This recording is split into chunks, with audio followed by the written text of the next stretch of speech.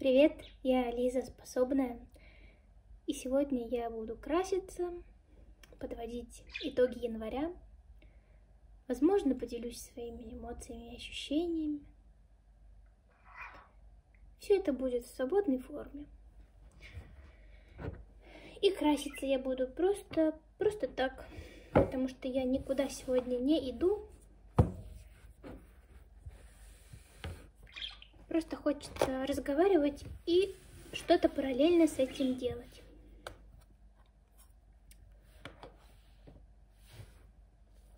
Итак, с чего бы начать подводить свои итоги? Во-первых, зафиксируем то, что я все еще не нашла работу. Месяц искала, искала, но не нашла. Месяц мониторила всякие вакансии. Три раза я ходила, ну, получается, на два собеседования. И один раз ходила в магазин, потому что там висело объявление, что требуется сотрудник. А когда пришла, мне сказали, пишите директ Инстаграма. Я такая, класс, спасибо, могла даже не приходить. Значит, что я делала, кому писала?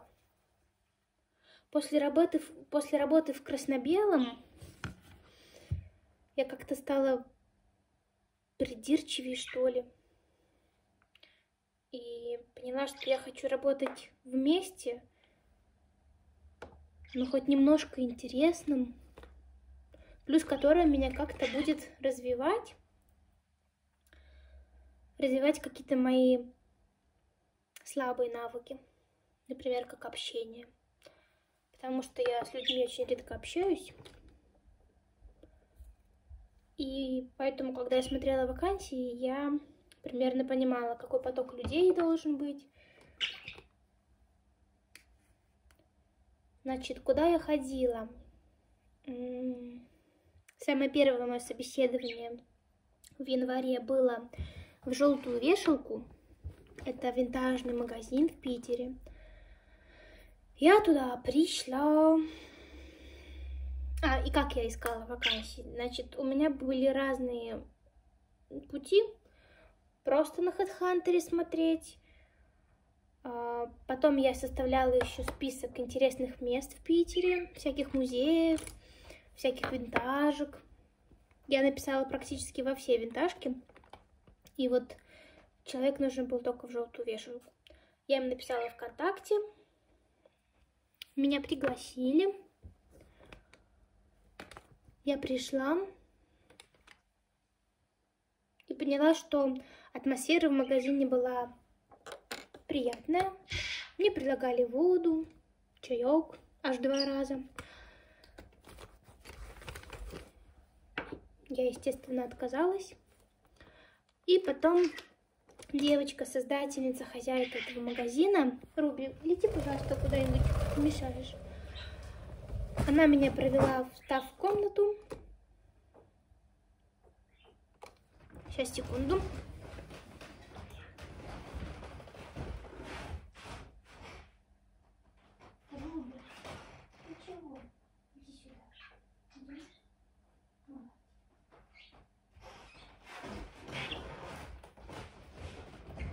Мой попугай сходит с ума. Я не понимаю, почему.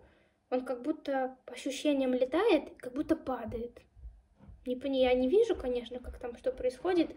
Но один раз я его на полу заметила, потому что звук был такой, как будто он кубарем вниз свалился. Потом за холодильником. Может, он уже стареет и как-то теряет координацию, не знаю. Ладно, Руби, сиди тогда со мной. Так будет безопаснее нам обоим, да? Я потяну. Садись на плечо. Так вот, я пришла, туда меня провели в став комнату. Я обалдела от того, сколько там вещей, много-много.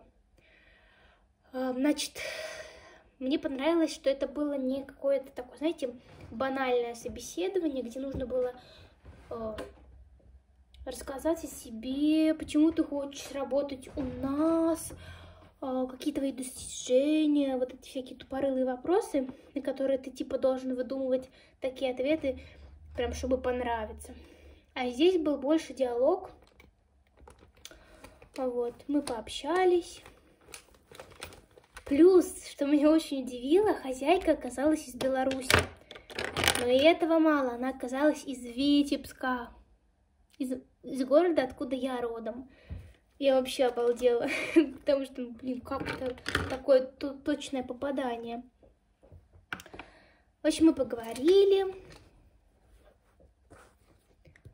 но меня не устроила их зарплата, и меня не устроило то, что там нету ни больничных, ни отпусков, ничего. Хотя говорили, что если ты стажировку проходишь, то тебя устраивают официально. Вот. Но при этом ни, ни того, ни другого не оплачивают, хотя вроде как, если устройство официальное, то это просто прямая обязанность работодателя это все выплачивать. В общем, с этим местом был отбой. Я начала искать дальше. Как я говорю, составила список всяких музеев интересных в Питере. Там были и музеи секса, и музеи раритетных машин, и музеи духов, парфюма, вот этого всего. Вообще куча разных, оказывается, у нас интересных мест. И э, Ваня предложил мне написать в Smile Park. А Smile Park – это такая организация, у которой 14 проектов.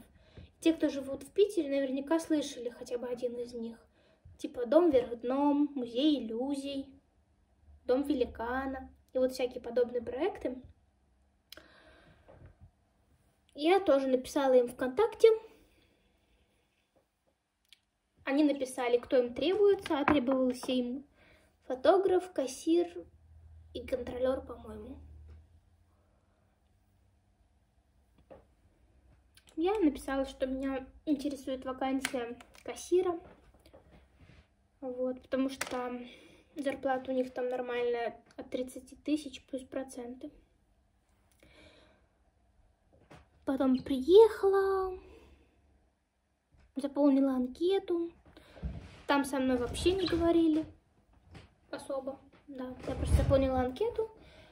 Потом меня отвели тоже в став комнату, где меня очень удивила вешалка. Я таких никогда в жизни не видела. Вот я роста метр шестьдесят, и почти что смело можно умножать мой рост в два раза. И примерно на этой высоте находится вешалка. Ну, это я так утрирую, конечно, но все равно.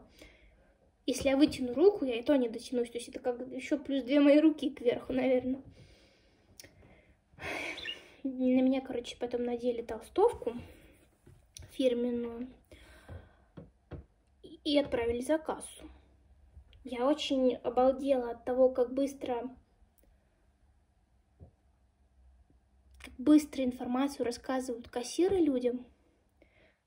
Меня это даже испугало, типа, блин, я, я не смогу так делать, я не смогу так продавать, втюхивать как будто людям. Я уже собиралась уйти. Я собиралась уйти, но меня там, э, мягко говоря, удержали. Ну, как-то убедили, короче, остаться, не переживать, что это только в первые там дни, месяц. Любой, короче, будет бояться, пугаться и все такое. Я такая думаю, ну ладно, останусь, посмотрю, что они там еще делают, как они все-таки общаются с людьми. Потом мы договорились, что через день я прихожу уже с пониманием проектов, что я должна говорить людям, про, э, про эти проекты. И в целом я, мне, мне выдали листик, и я в целом разобралась. То есть краткое описание каждого проекта я бы уже смогла дать. Я... А, и потом а, я... Мне нужно... Блин, господи. Мне нужно было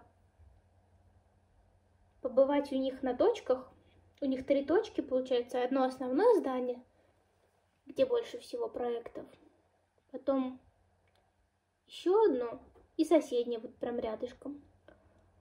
И я пообщалась там с девочками, там все молодые. И выяснила, что у них не устраивают официально. Не устраивают официально. А я вначале думала, что для меня это ну, такой достаточно важный критерий, поскольку я не в своей стране нахожусь. Мне надо, чтобы трудоустройство было официальным, чтобы мне оплачивали, опять же, больничные, вот это вот все. И я подумала, что, наверное, наверное, мне надо делать ноги. Потому что я выяснила, что там на словах они обсуждают индивидуально эти все вопросы, но девочка одна там официально работала, она сказала, что в этом нет никакого смысла, никто тебе ничего платить не будет. Вот. И я даже не стала потом проходить стажировку, я просто предупредила девочку, чтобы она сказала, что я там передумала, например.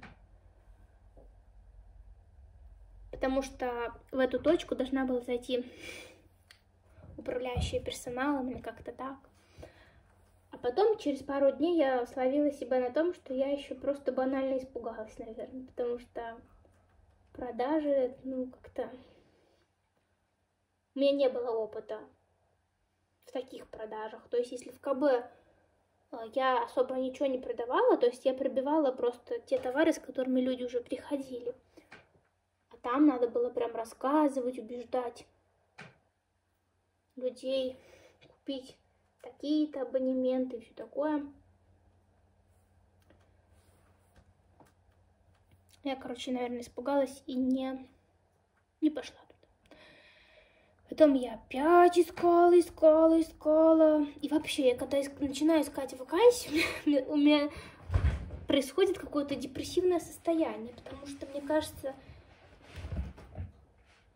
у меня такое ощущение, как будто кроме вакансий администратор, курьер и продавец, больше вакансий не существует, еще всякие кучу менеджеров. Вот. И вот сколько я вакансий уже пересмотрела, у меня ощущение такое, как будто я вообще никуда не подхожу, но нигде я себя не вижу. Мне нравится только снимать. Фотографировать, обрабатывать, ретушировать кадром. Вот этим я бы занималась вообще постоянно. Но поскольку жить на что-то надо, мне приходится вот искать подобные вакансии. А почему подобные? Потому что особо-то знаний и навыков нету больше. Я вот отучилась, да, на специалиста издательского дела. И понимаю, что, например, мне это неинтересно. И не хочу я работать по специальности. А новых каких-то еще навыков, знаний нету особо. И в итоге приходится искать работу по тем навыкам, которые хоть немножко уже имеются. Вот в КБ за кассой я стояла, хоть какой-то уже опыт есть. Билетным кассиром была. И мне так страшно, потому что бывают вот такие навязчивые мысли, как будто вот мне суждено, знаете, до конца жизни быть этим дурацким кассиром, как будто больше, больше я ни на что не способна. И это просто как будто мой главный страх в жизни не реализоваться. Прожить ее так одинаково, как другие, так скучно, так серо, без, безэмоционально. В общем, в общем, что? В общем, самое последнее, что я нашла, точнее даже не искала, это была вакансия в этажах. Там был магазин с американскими сладостями, энергетиками и прочим. Ваня мне сфоткал, что им нужен был сотрудник. Указан был график, зарплата. Я туда поехала. Мне сказали, пишите в директ Инстаграма. И, конечно, мне никто не ответил. Я такая думаю, ну ладно, не так уж вам сильно нужен был сотрудник. Еще видела на, ви... Ой, на, вид... на HeadHunter вакансию экскурсовода в музее эмоций. А я была в этом музее, он прикольный. Я подумала, что я в целом бы справилась. Я бы спокойно бы могла рассказать про каждую комнату, про эмоции, текст запомнить и по зарплате хорошо, и достаточно близко к дому. Я им и писала в группу, и звонила, и отклик на HeadHunter оставляла. И вот такие компании у меня почему-то вызывают вопрос, если вам нужен сотрудник, почему вы не просматриваете, почему вы не отвечаете? Или когда вам человек звонит, что и говорит, я хочу у вас работать, ни на собеседование не зовете ничего когда пытаешься оставить отклик на HeadHunter, он тебе пишет, что этот работодатель просматривает всего лишь 20% резюме.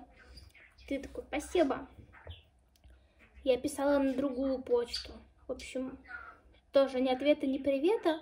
Думаю, ну ладно. Не нужны вам, походу, сотрудники. Ничего страшного. Дальше будем искать. И вот самое последнее,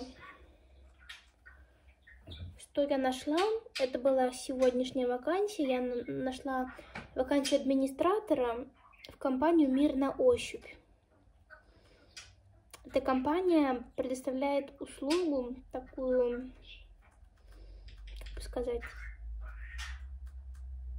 она позволяет тебе почувствовать себя так, как чувствуют себя слепые люди. Там пять комнат, Одна под рынок устроена, другая под кафе, третья под обычную комнату, потом четвертая там под улицу. И дается полтора часа. Тебе надевают, видимо, повязку какую-то, и ты в темноте ходишь, все на ощупь трогаешь, и получается испытываешь какие-то новые эмоции и задумываешься о том, о чем раньше не задумывался. Потому что, я думаю, не каждый из нас задумывается, как же живут слепые люди, как они существуют. Потому что обычно никому нет до этого дела. Вот. И гид у них тоже слепой человек. И мне в целом понравилась такая концепция. Это очень интересно. В общем, я им сегодня позвонила.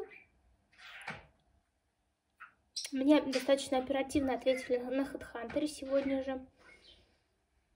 А я им позвонила, а потом мне девушка сказала, что надо отправить отклик на HeadHunter. Я отправила отклик на HeadHunter.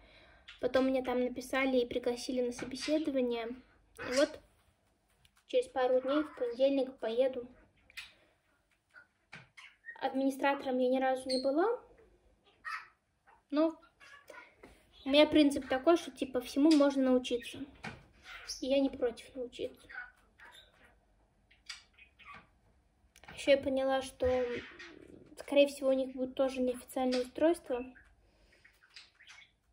Но мне настолько уже нужны деньги, что я уже готова буду работать там.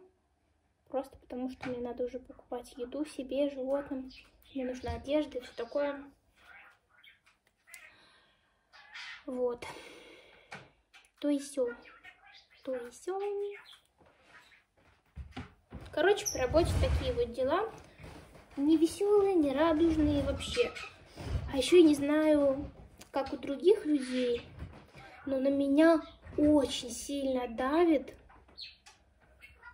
успех других людей, молодых людей, либо моих ровесников, либо даже тех, кто младше. Потому что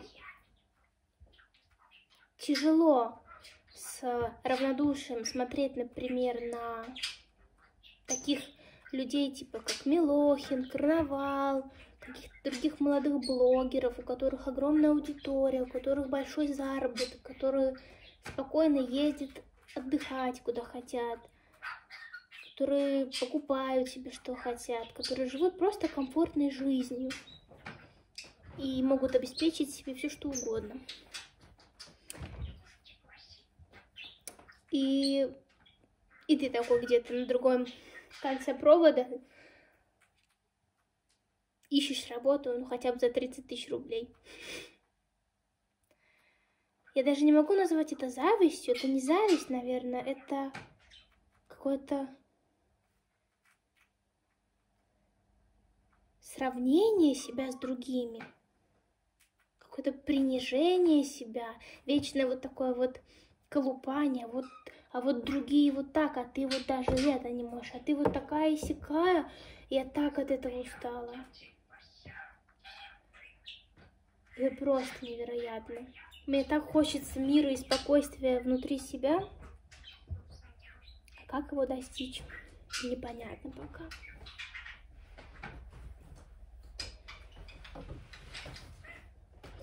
Так, чтобы макияжу мы накрасили глаза. Ну, мы, я. А еще мне мешает эта челка. Сделаем вот так. Не вижу себя все равно, ну ладно. Так, теперь, теперь, теперь. Теперь я хочу закрепить брови. Если я найду штуку для бровей, я ее нашла. Еще мне иногда кажется, как будто у меня какой-то кризис юного возраста. Да, потому что мне как бы 22 года. И пока что мои нерадужные перспективы это вечно, блин, работать либо кассиром, либо вот каким-нибудь администратором. Я понимаю, что меня это не устраивает. Я не хочу всю жизнь на кого-то работать. Это во-первых. А во-вторых, я в целом не хочу делать то, что мне не нравится и что мне не интересно и наоборот заниматься тем, что нравится и тем, что интересно. А в моем случае это фотография, которая мне всегда нравилась и к которой у меня, я считаю, есть хоть какие-то способности.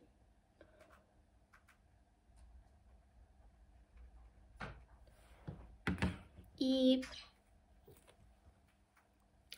представлять себя до конца жизни на кого-то работающий за 30 тысяч рублей, это очень пугающая вещь, очень отрезвляющая и очень стрессовая. Потому что ты никак не можешь успокоиться и принять тот факт, например, что это, допустим, не навсегда, что ты параллельно с этой работой можешь пытаться снимать И это какой-то вечный стресс. Потому что, когда я работала в Краснобелом, я тоже туда шла с мыслью о том, что вот тут я буду работать, а потом у меня будут выходные, я буду придумывать идеи, буду учиться снимать, фотографировать. Но на самом деле, все, чего я хотела после 14-часовой смены, это лечь и умереть. Вот. Просто отсыпаться весь день и ничего не делать. Такая вот правда жизни. Да, и это было очень печально. Я поняла, что, возможно, если я устроюсь даже тем же администратором, меня не будет сил на выходных, чтобы снимать. И вообще, когда твоя голова забита вопросом, как тебе выжить, куда тебе устроиться на работу, чтобы зарабатывать деньги. Но как-то не до вдохновения. Какие там идеи гениальные, когда ты озабочен только тем, как выжить.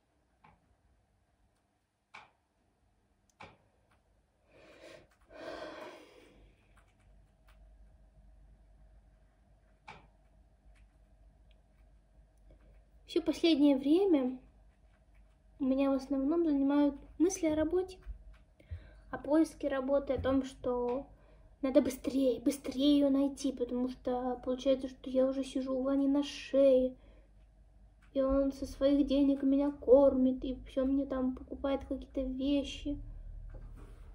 И мне некомфортно, как и ему, скорее всего.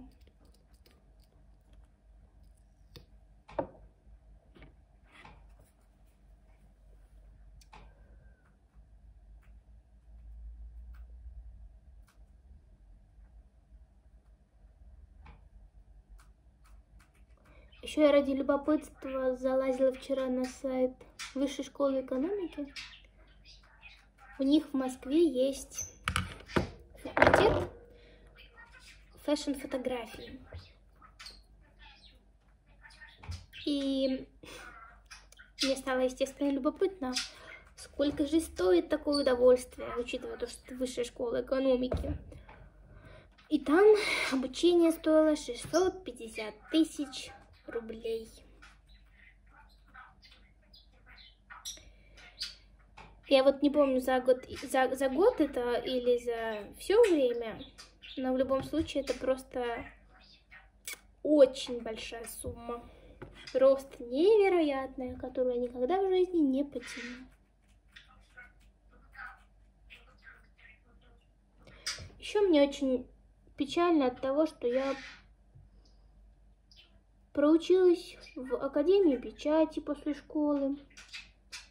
Потратила два года своей жизни на то, что мне вообще не интересно.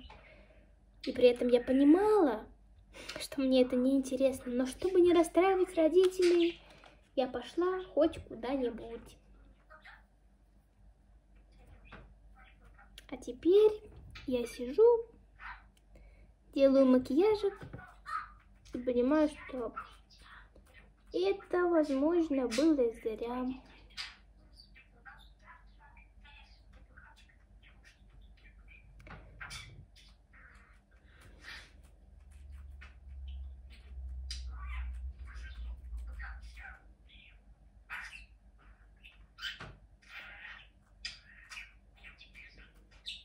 В общем, выводы по работе, по работе я уже рассказала. На скольких я в собеседованиях побывала. Что из приятного произошло в этом месяце? Мы обменялись подарками новогодними с моей подругой, с Ваней, со свекровью. Да.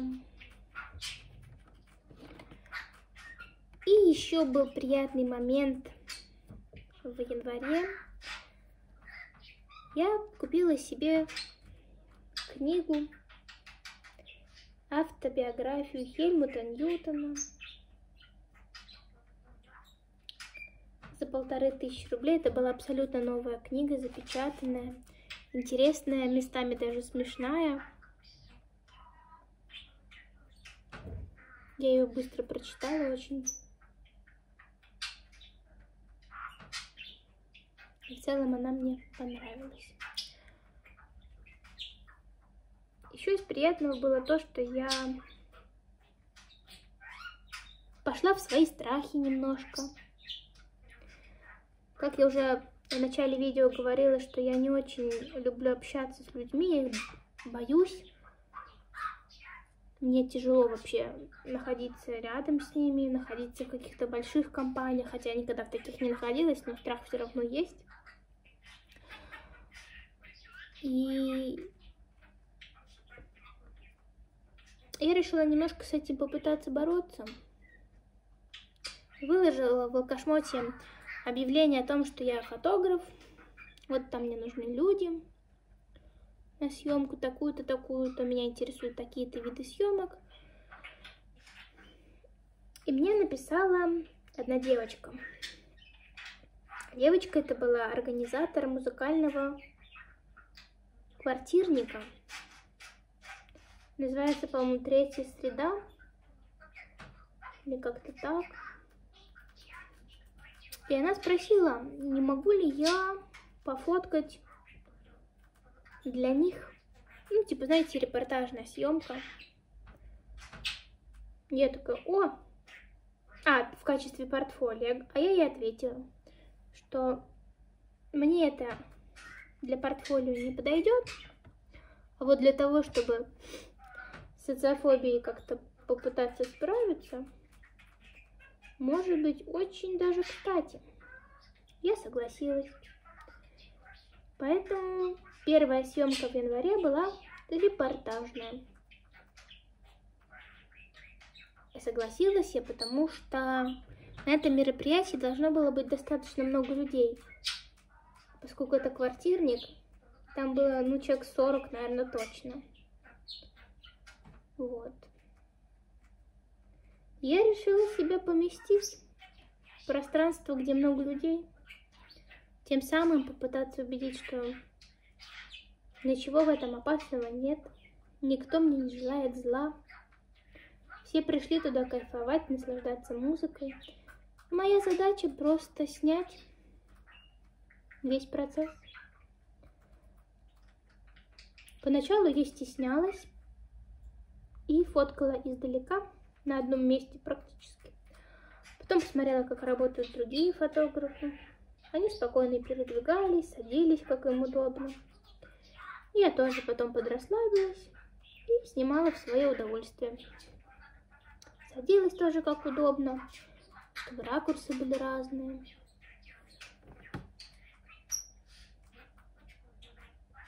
И сделала несколько прикольных кадров. И поняла, что в целом это не так страшно. Когда ходила на собеседование, тоже этот момент прорабатывался как-то. Я начала применять в своей жизни такой совет. А, звучит он так, понижайте важность. Всего, чего бы ни происходило. Я перестала воспринимать такие вещи как что-то супер важное, где надо трястись, постоянно переживать и все такое. Надо отснять, хорошо, я отсниму. Надо сходить на собеседование, хорошо, я схожу на собеседование. Но если раньше я представляла собеседование как какой-то допрос с пристрастием, что-то жесткое, ужасное, неприятное, то теперь я в голове у себя представляю собеседование как простой диалог с каким-то новым человеком или людьми. Вот. Я не возлагаю каких-то надежд и ожиданий. Я просто иду поговорить, пообщаться, узнать условия. И все. И это работает. Да. И когда я звоню кому-то по телефону, например, узнать какие-то вопросы о той же вакансии, это тоже помогает. Это просто звонок, ты просто задаешь какие-то важные, ну, не важные в плане интересующие вопросы людям, они тебе также отвечают. Грубо говоря, вы просто обменитесь каким-то набором букв. И все, ничего в этом критичного нет. Хотя всю жизнь я считала это очень ужасным, страшным событием. Вот. А теперь нормально все вообще. Теперь уже плевать. Абсолютно. Такой, знаете, появляется как будто пофигизм. Здоровый, здоровый пофигизм когда ты перестаешь тратить свои нервы на какую-то хуйню. Вот.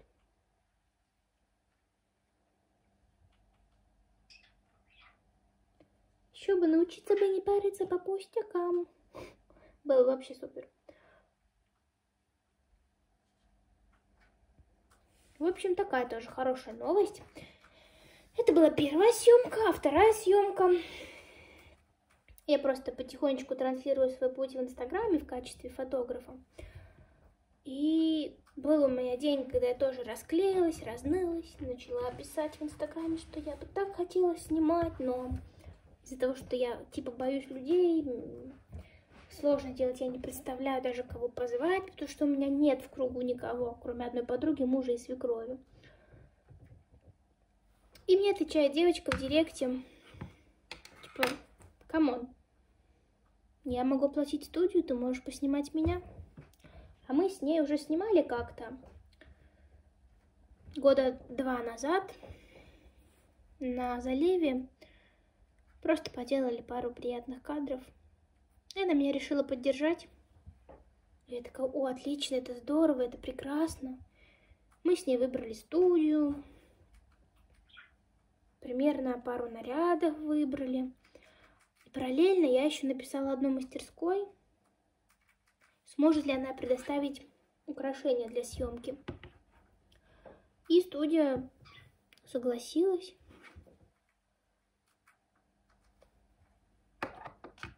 Хочу попробовать растушевать помаду, как румяна. Но не знаю, хорошая эта задумка или нет. Наверное, пока скулы сделаем. Вот, значит, что я говорила? Я уже забыла, что я говорила. Что мы решили снимать, выбрали образы, студию. Да, в общем, она меня поддержала. И что самое важное, я пошла еще в один страх. Мне всегда было очень страшно при мысли о том, что мне рано или поздно придется учиться снимать в студии и работать, о боже, со студийным оборудованием. Я вообще не представляла, как это, потому что денег на обучение нет, на какие-то мастер-классы, вот это вот все. А по ютубу учиться, ну, как-то, ну, таким вещам YouTube, ну, не знаю, как-то не, не очень. Хочется, чтобы прям какой-то человек знающий прям при тебе все объяснял, показывал, рассказывал про то, какие существуют вообще студийное оборудование, где лучше какое всего применять. И я понимаю, что пока у меня нет возможности учиться вот этому всему, но я все равно рискнула. В итоге я надеялась, что нам дадут софтбокс, потому что дома он у нас есть. Я понимаю, что он примерно даст достаточно мягкий свет, рассеянный такой. Но нам дали, по-моему, называется это правильно рефлектор один. И он был жестким, постоянный, постоянный жесткий свет получился в итоге. И это было не прикольно. А, я вспомнила, что я говорила про мастерскую. Вот, она согласилась дать украшения для съемки. Для меня это тоже был важный этап, что кто-то согласился со мной посотрудничать. Вот. И в итоге мы сделали пару кадров для Ники. И кадры для меня. Мы поснимали украшения. И еще в тот день я вечером купила лилии и хотела тоже дома поснимать их. Собственно, что я и сделала.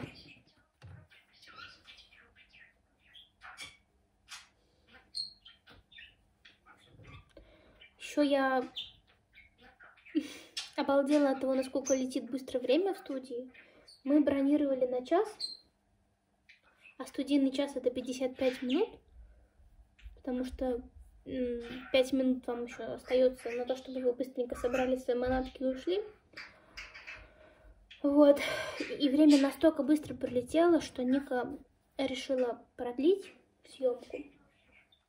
И мы снимали два часа, получается. Два студийных часа.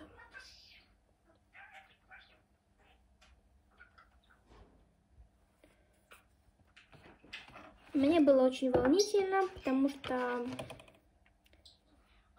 у меня есть проблема с тем, что я не могу пока подсказывать, типа, как стать, какую позу принять. Потому что если я раньше снимала людей и, ну, грубо говоря, ловила их в моменте, и получались очень живые, красивые фотографии, то здесь, когда ты находишься в пространстве, где одна белая стена или там бумажный фон за тобой, то тебе надо в любом случае как-то подсказывать человеку, как, как ему сесть, как ему встать, куда бошку повернуть, руки поставить. А мне это очень сложно. Я даже сохранила себе пару кадров в качестве примера, и даже это мне не помогло. Вот. Ну, Ничего страшного, это был первый опыт такой в студии. Я поняла, что мне надо лучше готовиться,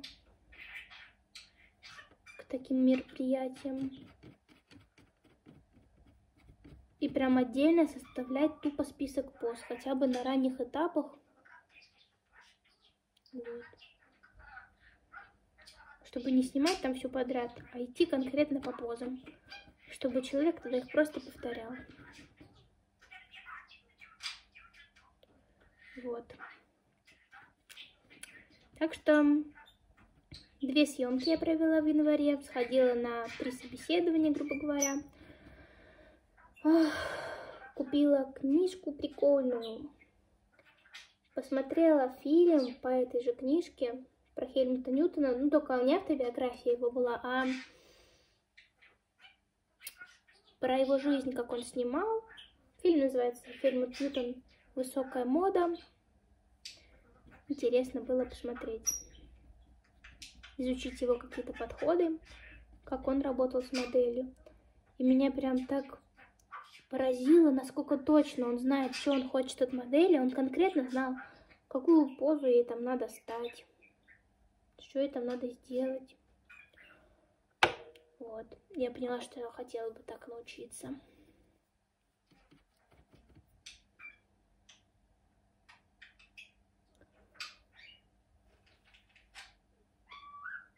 Еще меня бесит, что у меня электризуются волосы. Ну ладно.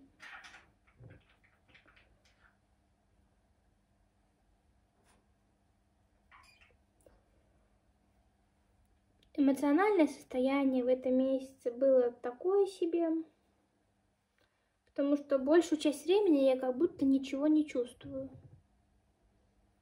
Вообще. То есть меня как бы может улыбнуть какая-нибудь милая собака на улице. Меня может рассмешить какой-нибудь Ваня на кривляние. Но в остальное время я как будто ничего не чувствую.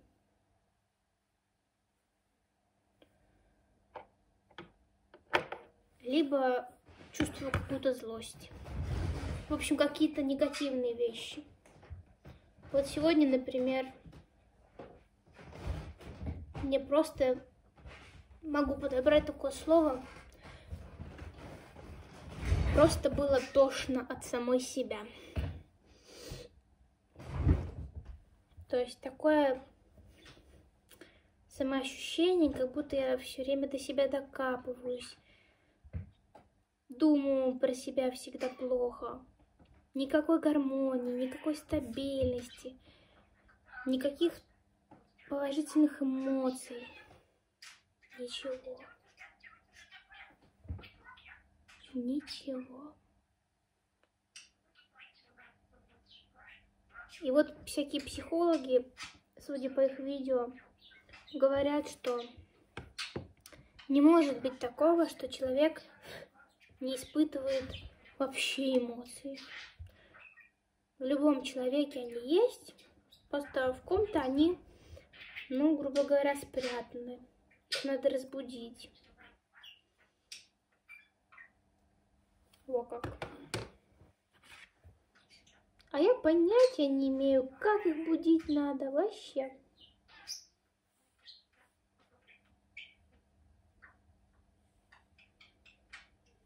Какие-то яркие румяна получились.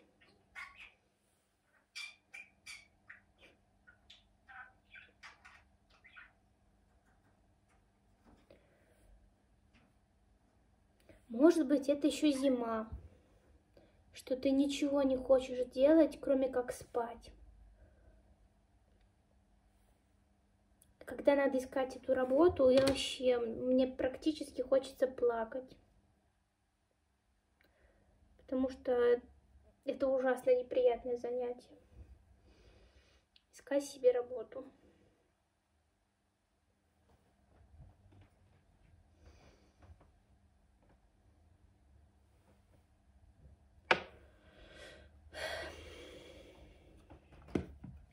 Это совсем не веселое видео.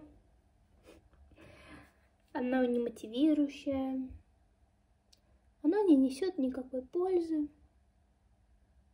Или я опять занимаюсь обесцениванием. Непонятно.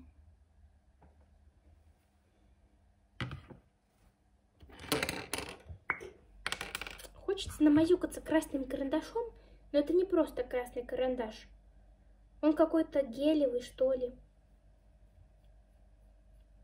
Да, гелевый липлайнер. Ну, блин. Пойдет ли сюда такой красный цвет? Вопрос.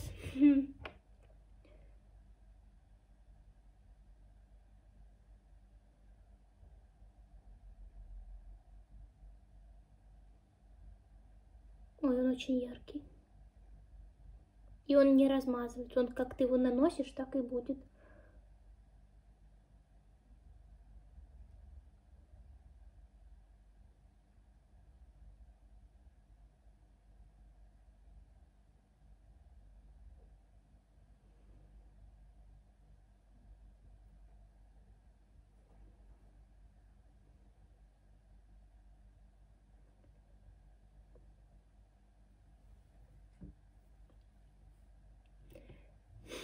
Интересно.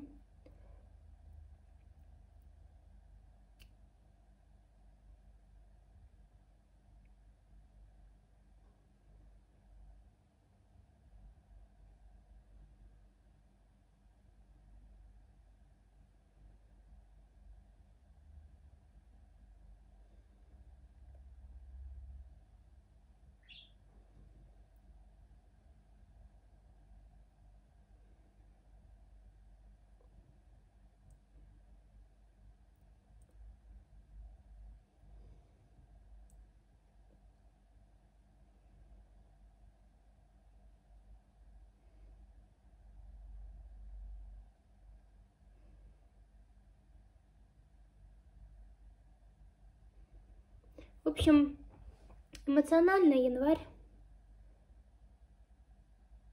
Тяжелый месяц.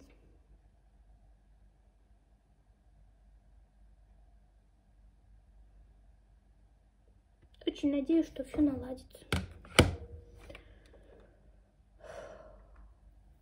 И вообще, каждую зиму такое ужасное депрессивное состояние, ты ничего не хочешь делать, ну, в моем случае, я ничего не хочу делать.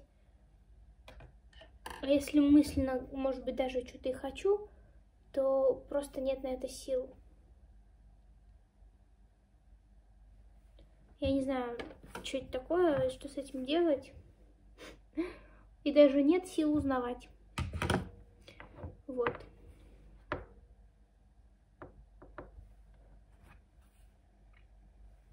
Может, блеском вообще. Мне кажется, я уже наношу неподходящие вещи. Ну и ладно. Даже сейчас. Вроде как снимаю видео.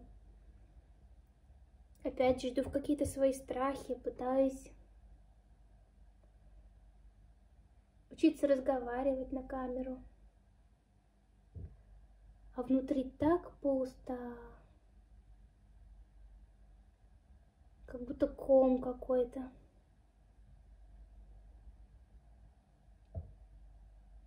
Как будто накопилось столько каких-то, наверное, негативных моментов, которые я не выразила.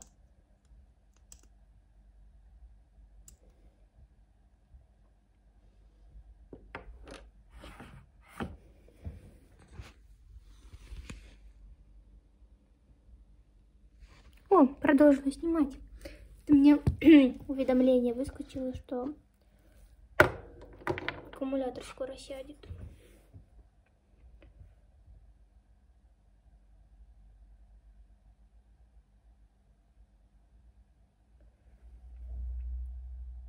Не помню, на чем я остановилась там, и что последнее записалось.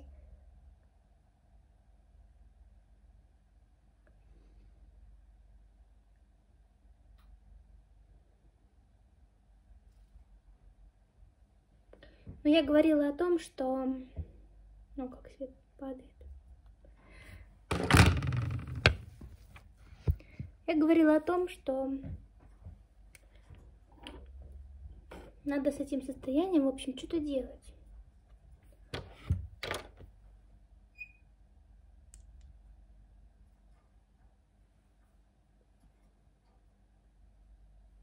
И мне даже тяжело говорить стало.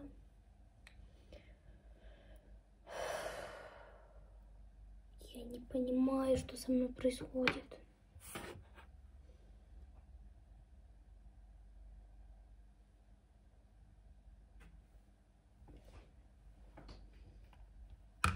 Не понимаю.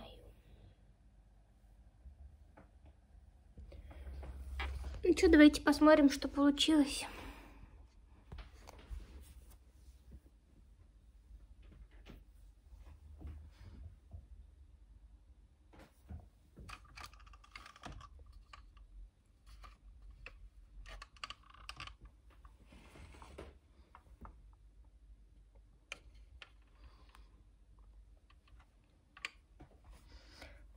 Ну, кстати, под зеленую футболку не так уж и плохо смотрится такая, такие яркие губы красные.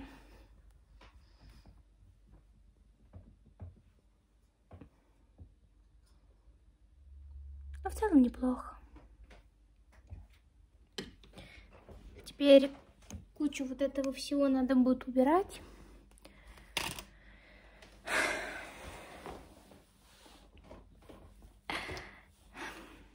Я собираю просто остатки каких-то сил, чтобы сложить это все на место.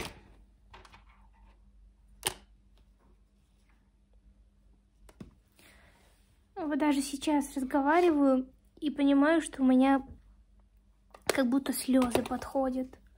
Хотя ничего вообще не произошло, я просто сидела и красилась. Я как-то гуглила симптомы депрессии, что люди там плохо спят, что люди плохо спят, что они плохо едят или наоборот жрут не в себя и вот прочие вещи. И я не могу сказать, что в целом я подхожу под описание тех, у кого депрессия. Наверное, у меня не это. Ну тогда хуй знает, что со мной вообще. Почему люди такие сложно устроенные существа, я не пойму. И, вообще, мой мозг как будто, знаете, концентрируется на каких-то ужасных вещах, все усложняет. Не может расслабиться, не может кайфануть просто от этой жизни. А потом, вот сейчас я понимаю, а чего кайфовать? Когда у тебя нет работы даже, банально, ты не можешь себя обеспечить. Просто бесит, не могу. Меня уже бесит то, что даже если меня возьмут на работу, это будет не та работа, на которой я бы хотела работать. И опять я буду проебывать свое время зря, впустую, работать на кого-то, получать эти копейки.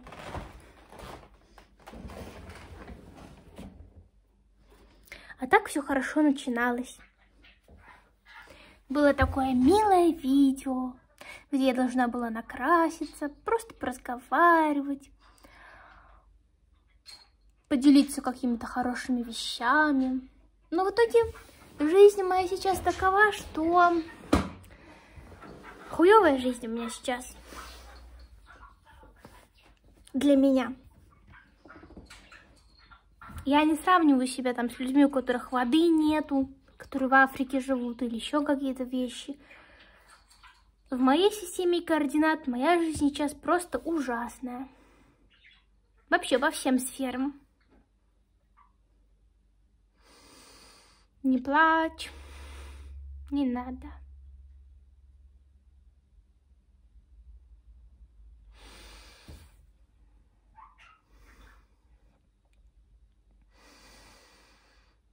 Ну вот что это такое?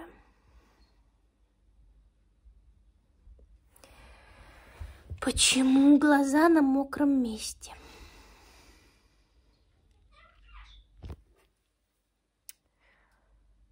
Как жить эту жизнь.